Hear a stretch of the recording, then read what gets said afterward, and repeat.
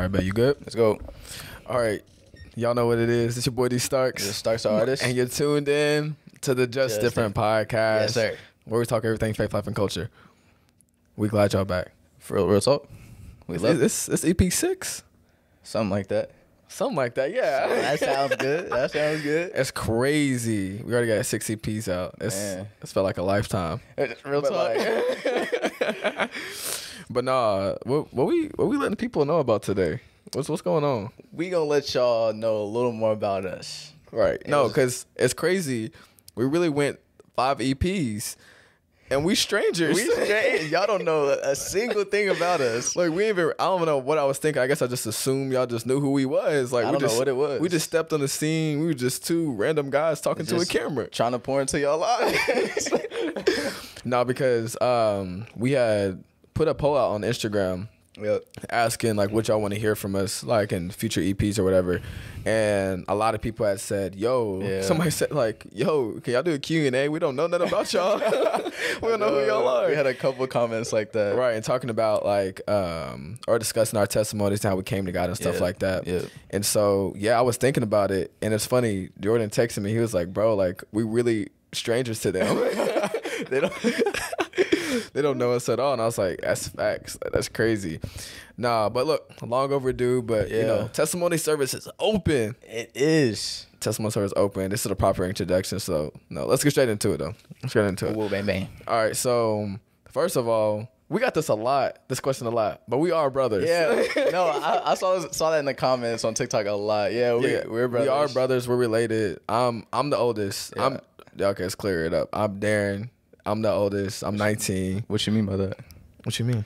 You said it's clear. Why is it clear that you're the oldest? No, I said let's clear it up. Let's make sure oh, the, I the thought scene you is meant straight. like. Oh, I thought you were saying like it's clear that I'm the oldest. I was like, what you mean? Like Bro, I you got a beard and everything. You everything. good? All right, you Uh, good? You good? You good? he- yeah, he's 19. I'm 18, so we're a year apart. Yeah, so I'm uh I'm a sophomore in college right now. I go to I go to Hanover College, which is like this small private school in Indiana. Um, but yeah, so I'm attending there at the moment. Yeah, yeah. I am a freshman. I go to Ivy Tech Community College. Hey, ain't, ain't nothing wrong with community college. Ain't nothing, ain't nothing wrong with it. There's Ain't nothing wrong with it. at all. We in the same boat. You you going? You know. Yeah, you go to community college. Um, yeah, so we both live in like New Albany, Indiana. Yep. Which is like we we always say Louisville, Kentucky, because like nobody knows where our town is. It's just a small town. Like it's a no name. But basically, yeah, we we still gonna say Louisville, Kentucky. That's like the the basic answer we're gonna It's give right, y'all. it's right across the bridge. It's yeah, that's like right. We five across the bridge, so it's real New Albany, Indiana. Um, born and raised, lived here our whole Yeah. lives for real. Yeah, basically. We missing anything else? Uh, Somebody asked us for our height. For what? what? Why do you need that I'm not. Let. I'm not. I'm not letting them know though, because I'm low key like I'm not 5'10". short, but I'm five ten. I was gonna say six five. I'm actually six three. You're good. For the ladies listening, I'm six four and growing. Nah, nah, but yeah. So we are we are both related. Both. Ooh, I can't talk. Both related Yup. um, brothers and live in New Albany, Indiana. Yeah. What else? Nineteen eighteen college students. And yeah. So let's get straight into it though, because y'all asked about like the testimonies and stuff. Yeah. So fill, fill the people in. How'd you How'd you come to the Lord? Uh, How'd you. How'd you come to the Lord? You want me to give you like a full rundown? Get them the story, brother. Testimony, man. That's okay, testimony okay. service. So we're gonna start at about freshman year because I feel like eh, the time before that, I kind of like I don't know if it's just you what. I don't know if it's just me, but I feel like as I'm getting older, like I forget a lot of like my memories from like younger ages. no, that's facts. That makes sense. so we're gonna But, like, start freshman year. Okay, all right. Because I That's feel like before then, I really didn't have any like encounters with God. Really, Uh, I guess Um, that's a part of the story though. Like we can start from like the the very beginning, like your upbringing. You know what I mean? Like going to church every Sunday. What it was that like? So go Oh ahead. yeah, yeah, cool, cool. Yeah, so we've uh, actually been going to church since a very young age. Our parents have always been very involved with their faith and in the church, so we've definitely been going to church since like the day we were born.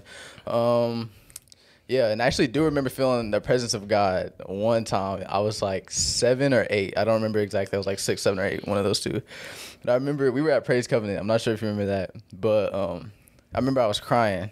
I don't know if it's just me, but every time I feel the presence of God, it's like I just can't help but cry. It's just such like a comforting like presence and feeling. I just cry every single time. So I was crying, and they were telling me to say Jesus, Jesus, Jesus, Jesus, and I keep repeating it because they were talking about how they thought I was gonna get the gift of tongues. at the time, I know what they were talking about. I was like, no, I'm telling you, I'm like six or seven. I have no idea what they're talking about. They're like, you're gonna get the gift of tongues. Keep saying Jesus, Jesus, Jesus, Jesus. So I was saying, and I was crying too. So I was like, Jesus, Jesus, Jesus. So I was doing it. Unfortunately, I never, I never uh, started speaking in tongues, but I remember that very vividly when I was like seven or eight. And then, so yeah, we uh, we've been going to church our whole lives. So Oh wait, and dang, it's low key gonna be disorganized. We'll we'll try to keep it organized as possible. But somebody asked like if we had like we we're part of like a particular domination or anything like that. Oh. which we're not. No. Like we go to All Nations Louisville. Yep. All Nations Worship Assembly Louisville. Um, that's our home church. Our pastor, his name is Josh Hart. shout out Josh, Shout out Josh Pastor Hart, Josh. Pastor Josh Hart. Um, and yeah, but it's a non-denominational church. Um, we just simply believe in all sixty-six books of the Bible. But go ahead. Go ahead. Simple as that. But yeah. Uh, so back to my story. So from that gap from like eight to freshman year, um, I felt like for me personally, to fill that void inside myself. Well, basically, let me start off by saying this. No one ever taught me that God was more than just going to church every Sunday. So when I encountered Him that one time, I thought like That I didn't think the only anything of time you could do it. Yeah, that's what I thought. So no one had ever went into depth about teaching me about how God was deeper than that, how it was a relationship, and Mm-hmm. so I just just went on living my life, right? Going to church every week, just living, trying to fit in. Um, for me, trying to fill that void was with girls. I'm gonna be completely honest with y'all. I was that guy. I was a player. He was in the DMs, yo. he was in the DMs trying to slide. I, Let me I'm tell you. honest with y'all. That's what I did to try to fill that void inside of me. You know, some people use you know video games, drugs, other you know whatever they use, but I tried to use girls. And freshman year, I just got out of a really long relationship, and I remember feeling like so depressed for like a couple months. Mm. And I remember thinking like there has to be more Did she to break life. your heart? I You cool. Yeah, she did. Go So- ahead. something like that. Something like that. But uh, yeah, I remember feeling very depressed for like a couple months after that, and I remember just thinking like there has to be more to life than this. I feel like I was just waking up every day, and those couple months just felt like one continuous day. It was the same thing every single day. That's just the mindset I was in. I remember thinking like there has to be more than this. Right. Like this is miserable. No way I'm going to live the rest of my life like this. So, and actually, so freshman that was freshman year basically. That sums up my whole freshman year. And then that summer is when we started going to All Nations. Right. That's when we moved church to All Nations Louisville, the church we're at now. And um, I don't know if you remember this, but it was one of the first times we were visiting, and we were it was during service, and I remember feeling that familiar presence, bro. I started breaking down, crying in the middle of the service. But the funny thing was, like, it wasn't during like the typical the typical time, like at altar call. It was in the middle of the sermon. No one else was like doing anything. I was just crying. He was talking. I was bawling, and um, because I just felt that familiar feeling again. And then um, just throughout the process of going to that church, I started learning more from my pastor about like the kingdom of God and the how it works and stuff. And that's when I really started digging into God. Like, oh, there's more to this than just going to church every week. Right. And that's when I started becoming exposed to different knowledge and new wisdom. Um, and that's really what the catalyst for that whole process. Um, and it was different from before. Like I said, I tried to use girls to fill that void. With with that, it was like it was the puzzle piece. It didn't necessarily fit, but I was trying to twist it around each and every way to try to fit it fit it into the piece. But with God, it was like that was the missing piece. It fit perfectly.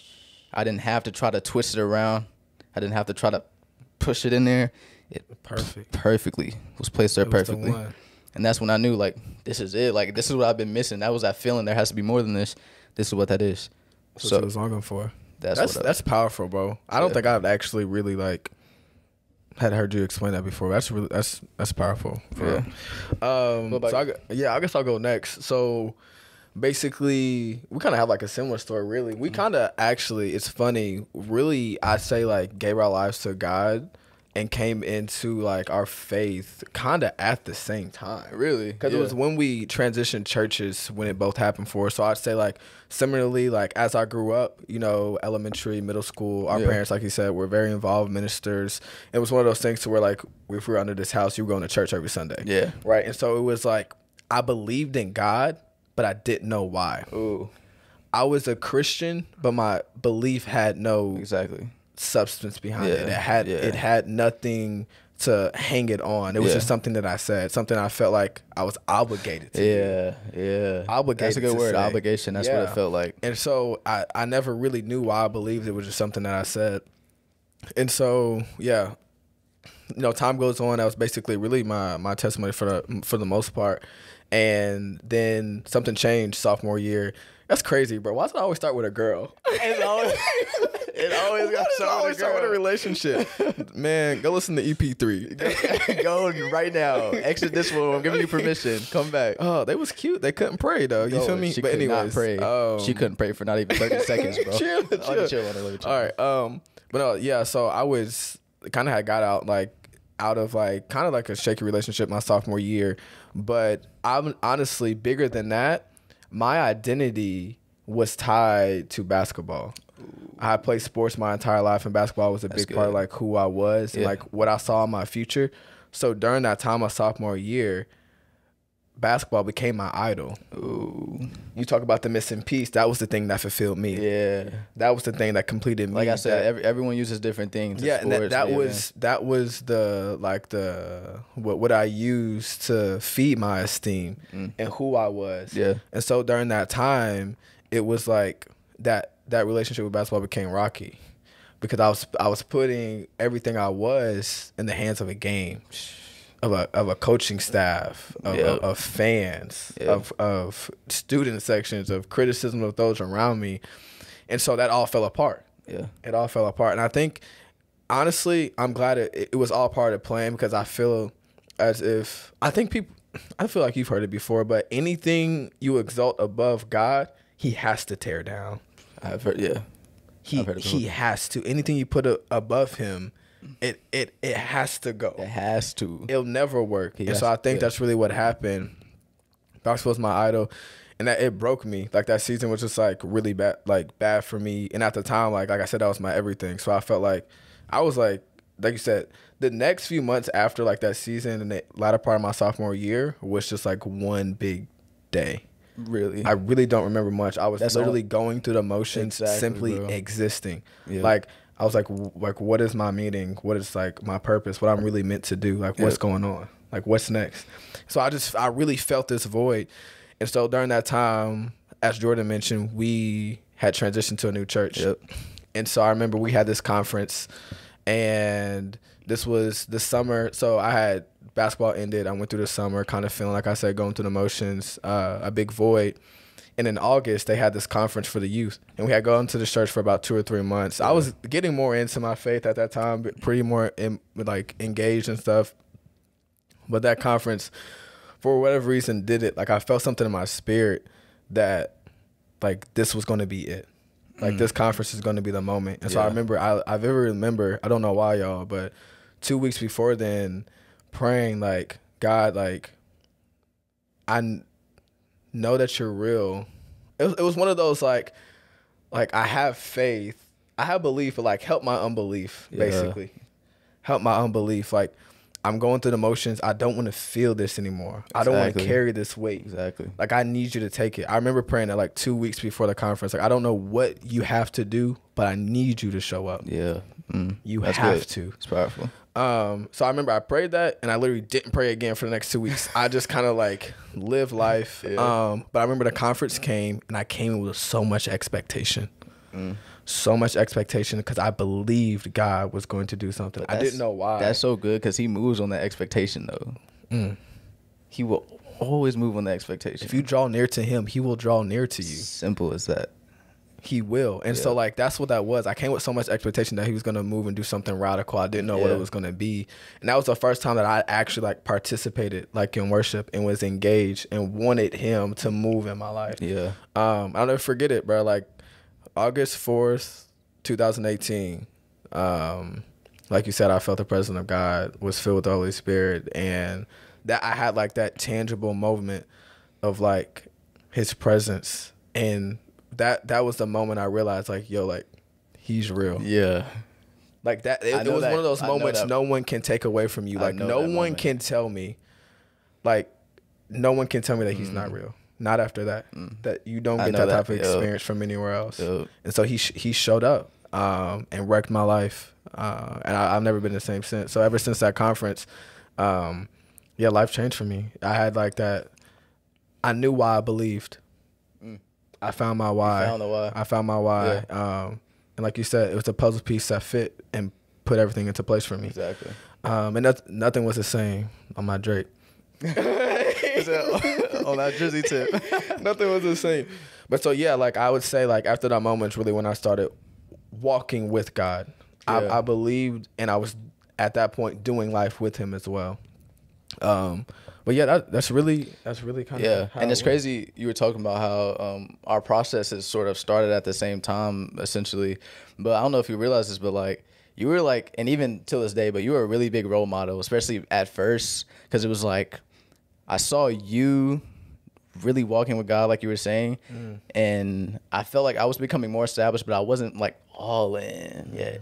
And when I saw you going all in, you were reading every day. Like, bro, I saw you in the in the room reading every day, praying every day. Then I was like, yeah, you were sort of like that that role model for me. I was like, oh yeah, I gotta get on my stuff, and that's when I started reading every day, praying every day. I was like really diving in. So yeah, That's crazy, bro. Because I I felt that you you were that for me. Whenever I was like falling away from God. Mm. I That's- love you, bro. Yeah, I- I that's- feel that's talk- like, no, seriously, like That's I feel like, and one of the questions is how do you deal with backsliding as a Christian? But I remember like at some some point in my walk, I lost my fire, Mm.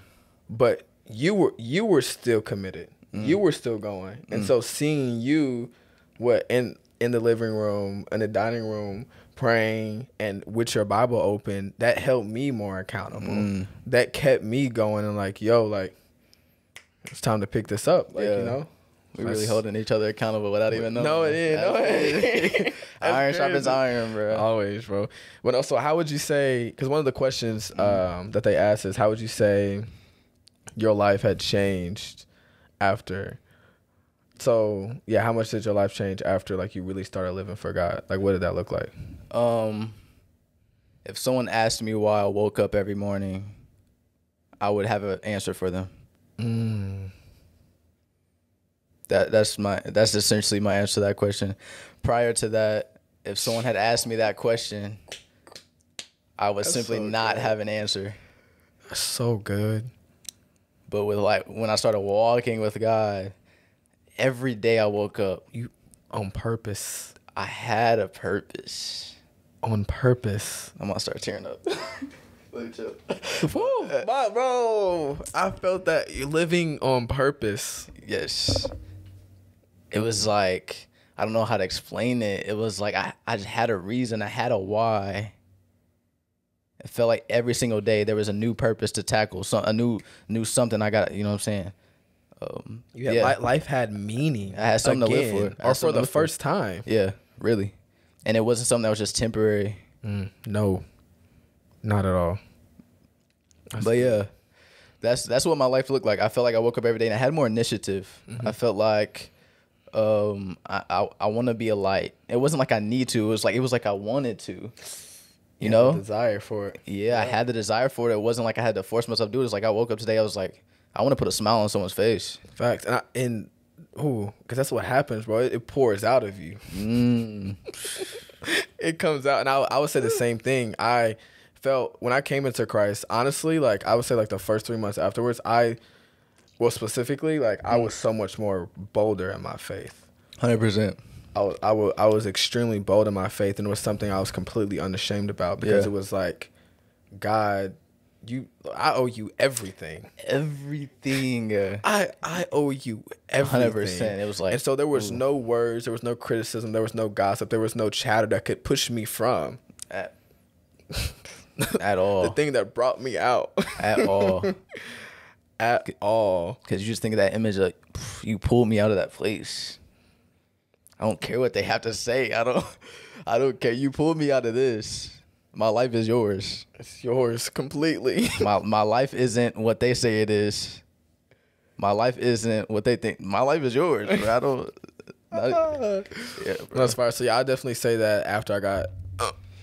Oh, what the heck? Um, yeah, after I got saved and really started walking with God, that was the biggest difference. Like my boldness and my faith, and like Yeah. you said, like my desires began to change. I know we mentioned it I think in the other EP or before, but like you know, his desires became mine. Yeah, And exactly. that that was the crazy part, and I lost the taste for the things that used to fulfill me. Mm-hmm. I lost I lost the the the desire and the I don't know like this longing to be a part of the things that I used to like you know long for, Mm. and so that was a big that was the biggest thing for me. And so, how would you say your mind changed in habits? Because that was another question. So, how much did your mind change, habits, and what did God do for you after? Um, how much did my mind and my habits change? Mm-hmm. Um, I felt like, especially like after after that feeling, you said that you got that that feeling is like I know God is real, like and no one can take that from you. After that moment, I felt like I had more of an initiative and more of like a, you know, initiative to do what I needed to do, right? And I feel like I needed to capitalize on that. So, wait, what was the question again? I totally. How Like- did your mind change and your habits? okay, uh, my habits. Uh, like I said, okay, so I'm trying to put it into words that make sense. Your mi- when you grow closer to God, your desire, His desires become yours, but you still have to walk it out. It's not just like a one and done. Like, oh, His desires are mine. Now I won't feel any pull from anything else. That's good. That's not how it works. good. You're still gonna be tempted. You're still gonna here and there want to do certain things and go back to the way things were. But that um, that part. you have to put God on His throne. Because I think um, even after that moment that I was saved, I still had other idols in my life. Anything that you put before God is an idol. Anything that you're giving more time and energy to more Any- than God is an idol. Anything you take your pain to, is an idol. Anything can be an idol. I don't think people realize that. It's not because what I thought is the idol is like, oh, I'm worshiping to a statue. No, an idol can be the television. The idol could be your phone. The idol can be a friend. I, we posted this other day, but if social media is the idol, my time is the burnt offering. Anything can be an idol. So I think what I had to do is put God on the throne. No more idols. I had to put away all the idols. And once I did that, that's when that process really started of my mind changing. Like so like to answer that question, that's how I mm-hmm. changed my mind. I had to be deliberate about it. Yeah, a lot of it was God giving me his desires, but I still had to take that step. God's not gonna ever take the step for you. It's your you gotta move, you know what I mean? He'll guide you, he'll direct you, but you gotta take those steps at the same time. So That's fire. That's really good. No, and I'd say for me, what that looked like is I remember um, after I got saved, unintentionally, I went on a fast. Mm. Not not a uh, not like the typical fast in terms of like no food or water, but I went on a like a social media fast. Yeah. Cause I found myself after I had that moment with God, Mm. like a week later, them temptations were still creeping back. I was still going back to Mm. Yeah, it. And that's I was I was like, speaking of. I- Yeah. no, I'm not. I'm not. Exactly. I refuse. Exactly. And so like unintentionally, it was like okay, like I want to remove every barrier that is. Mm, I want to remove every barrier that is disrupting my intimacy with God. Mm. And so at that time, it was like, I want to give all my time, my focus and energy to him. And so what I did was like, I deleted my social media, y'all. And I mean, like, not the app.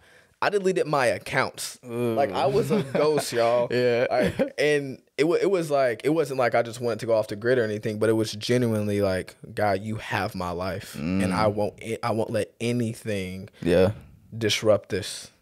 I will not. And so that that's what it looked like for me. Like it was really like a strong like discipline. So I started with Yeah. like that, you know, kind of like that fast of like detoxing myself from mm-hmm. like just always being on like media and hear what Yeah. every everyone else had to say and tapping in to what he was saying. That's good. That's good. Removing what everyone else had to say and tapping in to what God was saying. And so that that's what it looked like for me in terms of changing my mind was like what we talked about we talked about it before, but taking like just practical steps every day to getting in my word and letting, you know, his word shape my world. Letting his world his excuse me, letting his word shape my world. Letting his words become my foundation. So I was coming and now wanting to Yeah. approach life through a kingdom perspective. Yeah. Everyone approaches and sees life through different lenses. Yeah. and you have the ability to choose which lens you're going to see it through. Some people see it through a Democratic lens, a Republican lens, a conservative lens, a, a liberal lens, a uh, uh, your own personal lens, your own personal preferences, Yeah. desires, through your uh, through the lens of your flesh and what you want to do. But you have to step into or get to the point to where the lens and perspective you're looking at life at is through the word, Yeah. and what he's saying. Yep. And so, yeah, to answer that question, like that's kind of how my mind changed. It was like kind of like through that through that fast, like indirectly, I really didn't know what I was doing. Yeah. Um, Sort of it was just- yeah, it was just like a byproduct Yeah. of like my yes, really. Um, and so yeah, then like letting, like I said, His word shape Yeah. my world, and that's how my habits start to change because I was living according to Him and not my own desires or what the world was trying to tell me. Yep. So that's that's really what that looked like. We offer no Uh, resistance. Yes. So this was a this is a really good question. Y'all really y'all went off. I appreciate y'all. These are really good questions. Uh, so the next question was, um, how do you? Well, no. What advice would you give to new Christians? So people who you know are just stepping and giving that yes to God, like yo. Hmm. You gonna go first? You wanna take it first? Because I, because I have something. I feel like I have. I had an answer right away, but it's like I'm kind of like finding the words. Yeah, so. I, I would say like, man, this is there's so much, but I would say like one of the biggest things is that you you get saved at the altar, but there's still work to do. That's crazy because I was thinking that, no, but you, you- put it into the perfect words. Deliverance may happen at the altar, That's but so discipline good. must take place at home. That's so good. Deliverance may happen at the altar, but discipline must take place at home. And so, whenever you do come to God, your spirit's saved, but your desires don't magically disappear. Yep. Yep. And so I think that we have this misconception, and I did yeah. coming to God that, oh snap, I'm saved. Now no temptation will try to, you know, to like ensnare me Yeah. to come back to the life Right. that I was. But the crazy thing is, it probably comes stronger when you start living for God. It does. It does. And so that's a, I guess, advice. Not even, I guess that would be advice or like just like a nugget and like perspective is that there's still work that needs to be done. Yeah. You have to work out your soul salvation. Mm. We mentioned this before, but I did, I got to reiterate because it's so important. Like God wants your soul. He He wants your soul. Your spirit is already saved. Yeah.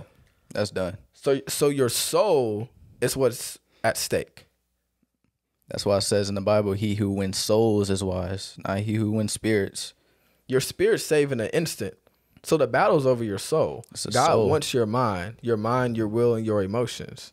Yep. Like it's, That's it- it- you know what I mean. So Discipline takes takes place at. Mm. deliverance may happen at the altar, but dis- discipline must take place at home. So there's still steps that need to be that need you have to take after you leave the four walls Yeah. To get closer to him. And I say I would say another thing along those lines is that I think I put it down, but basically in terms of like walking out your faith, it's practical in execution, but spiritual in nature. Mm. Does that make sense? It does. It's practical in execution, but Yeah. spiritual in nature. So don't overcomplicate it. Yeah. When you're walking, you're coming into Christ. It's like we we mentioned in other Ps, EPs, but like it's really it's a relationship. So staying in communication, praying, That's reading, reading your word, surrounding yourself with the right people.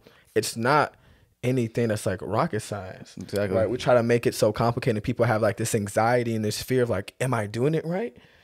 Like there's a right way to do it, which there's not. You know what I mean? So like, Yeah, yeah. I would say don't overcomplicate it. Exactly. Like, That's genuinely make God your best friend. Uh, make Him incorporate Him into your life and make Him Lord. That's good.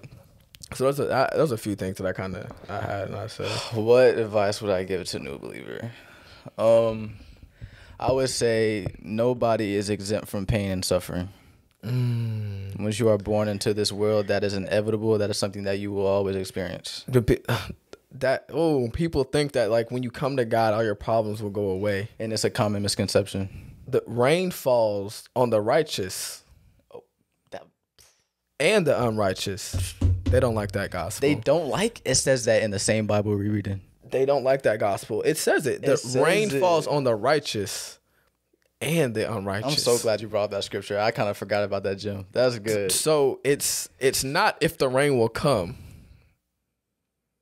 It's your response to it and who you have walking you through the storm. Ooh.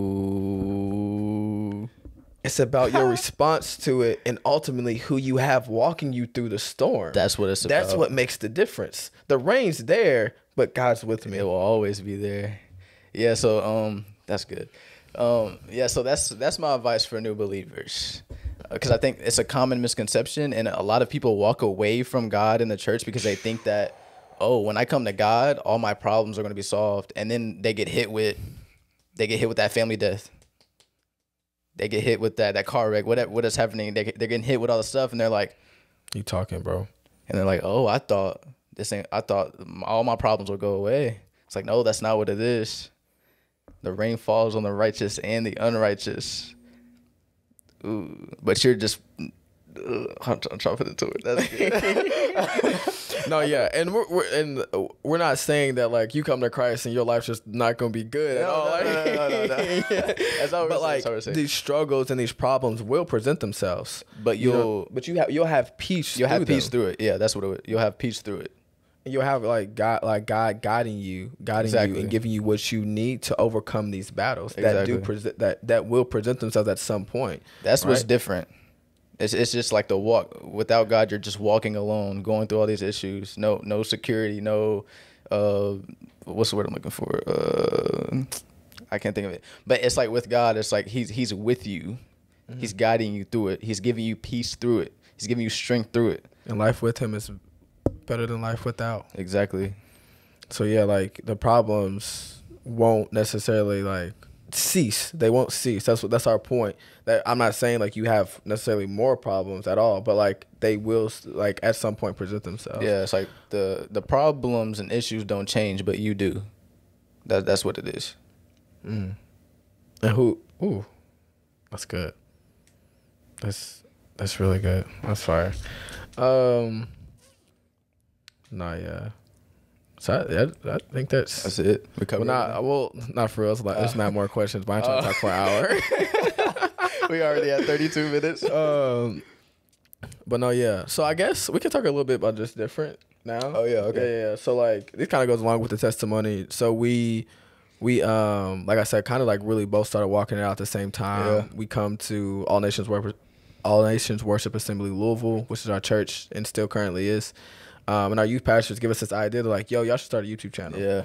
Um, and so yeah, so like for some of y'all, because we got some new, you know, what I mean, people that just jumped Yeah. on the train, but we've been doing just different for a minute, We have like the whoa, three years, a long time. no, Three we, years. Bro, we've had these bracelets for a long time. Yeah, low key, yeah, we do got bracelets. Um, so yeah, our, our youth pastors came to us like, "Yo, y'all should really start a YouTube channel. We think it'd be dope." And we were like, we kind of like all in, really. At that Yeah. point, it was like we just wanted two kids wanted to spread the gospel. Yeah, that's that's all it was. And so we started a YouTube channel. Um, I want to say 2018, 2019, probably. Sound, yeah, something, Um, something. and so we did that for a while, but it was it was more like I guess a hobby. Like we were kind of like just inconsistent, Yeah, very it and all that good stuff. Um, but it's something that we still are passionate about and that we did. Um, and we sold we had merch, we sold shirts. Yeah. At the time, like we, We sold, we actually had two shirts that we we uh, put out and sold. Um, like obviously we had like the bracelets and things like Yeah. that. So it was a great experience, and I think that like we really had a lot of impact like Yeah. while we were in high school with Yeah. while, we, while we did it. Um, so that's kind of like how just different was born. Like it was literally our youth pastors coming to us, and we like the next week we sat down, we got the logo together, Yeah. like the mission statement, how we wanted to do it, the shirts, and yeah, just kind of like went from there. Went all in. Yeah, so I think we did that for like a year, 2019, and like 2020, we kind of just Off that the was grid. like our backslide year, bro. I'm not gonna lie. Off We- the grid. yeah, we just we just kind of stayed stagnant. We just kind of like you know not really walking in purpose at that time. So it kind of like took the back burner to everything. Um, then 2021 rolls around, and I just had like this feeling in me that like yo, it's time. Mm. I don't know what it was. Like I don't know if y'all can relate to it. I know some of y'all can, but there was something in my spirit telling me, yo, D, purpose is calling. Yeah. Future is calling. It's now. Stop. You don't have more time. You don't. You don't have more time, and so You can't afford to waste anymore. not at all. And so that drove me to a lot of action. And then we started getting. We were just like sat down, like, yo, like we should do a podcast. Yeah. Like it would be a lot. We were already doing that, like just talking to a camera. Yeah. like, let's just make make the podcast happen. And yeah, we really just like doing what God told us. Like we had words. I know spoken over my life specifically, just saying like the manifestation of like what's happening right now with mm-hmm. it. And so I knew it was something that God was calling us to do. Yeah. So yeah, in June we got all the like supplies and everything, the equipment, and you know July we kind of like started planning a bit more. And August it's like yo we we're getting to it. Yeah. We no no no more like putting it off, procrastinating. like we gonna actually step into it. And so yeah, like that's kind of like how it really started. This difference been kind of going for a while now. Yes, the podcast yes. is like just new, just like an extension of what we already been doing. And so that's really kind of how it all started. Was like you know with our youth pastors Mhm. like three years ago. Exactly. Yeah. I remember when we um when you had got the mics and everything, and we couldn't figure out how this works, and we pushed it off for like three weeks. Yo, I got the I got the mics and all the equipment. We didn't know how to use any of it. no, when I say like we oh. waited like three weeks, like two, three weeks, so we just didn't know how to make it work. Because I'm gonna be honest with you, the my mindset at the time, I was like, I'm not even trying to fool with it, bro. I was like, it was just like, what's going on? It, it was crazy. yeah, but I'm glad we finally like started it, bro. No, yeah, for real. And so I guess, yeah, Do I- it anyway. do it. I'm telling y'all, like we don't get on here or we post anything that we're not living or God hasn't told us. It was like, a when do I it say anyway. yes, like when we say it, we mean it because we're like living testaments to that. I say do it anyway. The how is up to him. Yeah. It's it's up to him. Like everything that's happening right now, like even you right now listening Really? to us, like that's that's by God's design. Like That's I all. don't I don't know how it's gotten to this point, but we're just gonna keep doing what He told us. Yeah.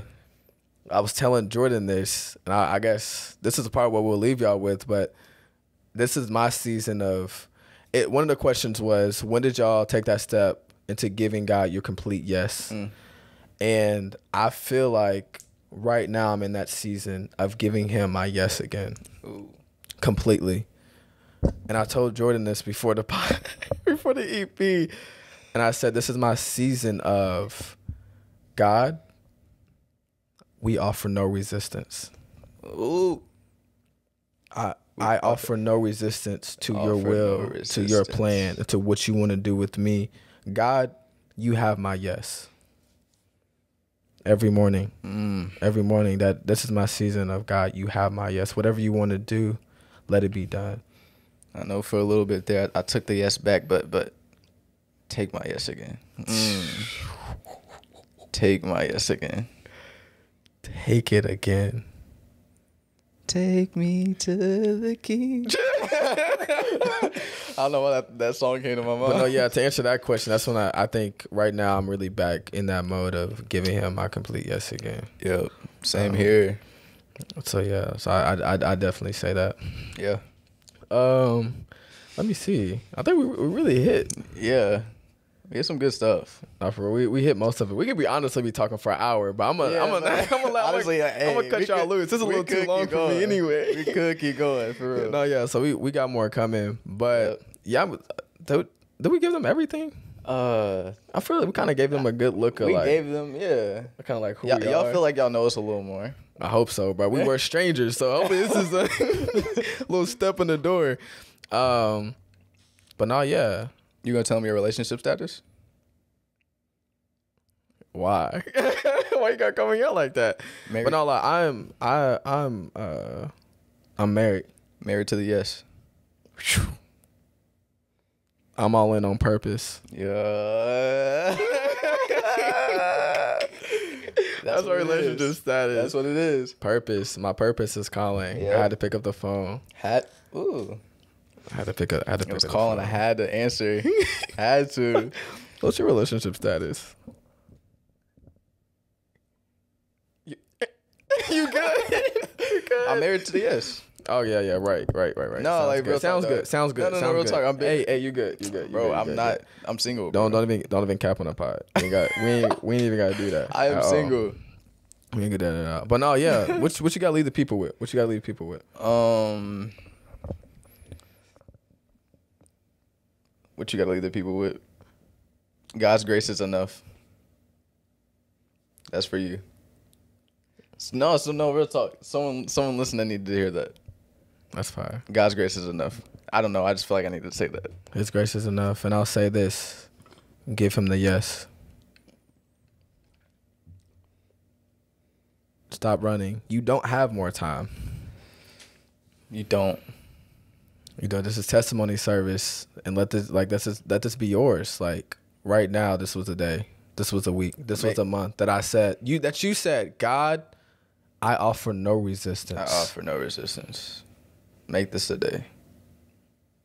I offer no resistance. Not tomorrow Yes to your will, your way. Not a month right from now. now. Not a week from now. Right now. Right now. That should work. Take it. Receive it. But hey, man. Hey, man. Say, man. we appreciate y'all again. Thank you for tuning into Just Different Podcast. Stay, Stay, you. you. Stay real. Stay, Stay humble. humble. We'll catch y'all next week. Yeah. Much love. Much love. Much love.